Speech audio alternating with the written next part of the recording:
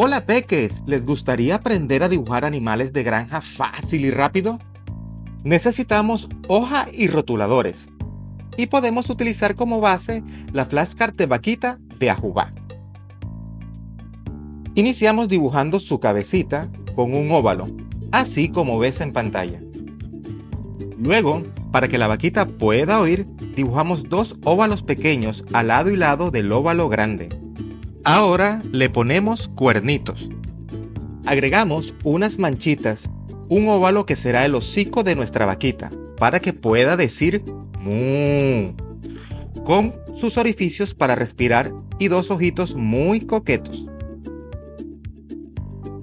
Su cuerpo es un óvalo muy gordo y grande. Le dibujamos un rabito para que pueda espantar moscas. No podíamos dejar de dibujar sus paticas. Ahora sí podrá correr por el campo muy feliz y contenta. Cerramos su barriguita. Dibujamos su ubre para que sus hijitos puedan tomar mucha leche todas las mañanas. Hacemos más manchitas en diferentes partes del cuerpo de nuestra vaquita para que se vea más bonita. Oh, casi se me olvida, no pueden faltar en sus paticas los casquitos para caminar. También, para que se vea más bonita, rellenemos con rotulador negro la puntica de su colita. Como ven, ya terminamos el dibujo de nuestra vaquita. Ahora le daremos toques de color.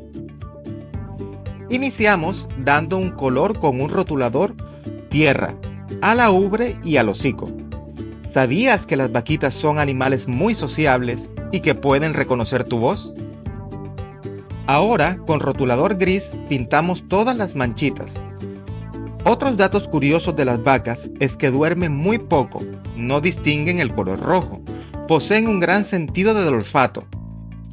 En la especie bovina, a las hembras se les llama vacas, a los machos se les conoce como toros y a las crías se les llaman terneros. Y a las vacas jóvenes se les llama vaquillas.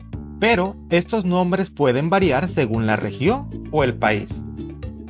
Con rotulador rosa y con mucho cuidado pintamos las orejitas de la vaca. Damos más color a sus cuernitos. Con rotulador verde pintamos mucho pasto para que la vaquita pueda llenar sus cuatro estómagos. Sí, ¿sabías que las vacas tienen cuatro estómagos?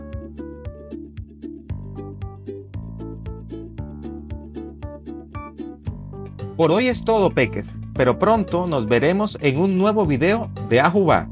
¡Chao!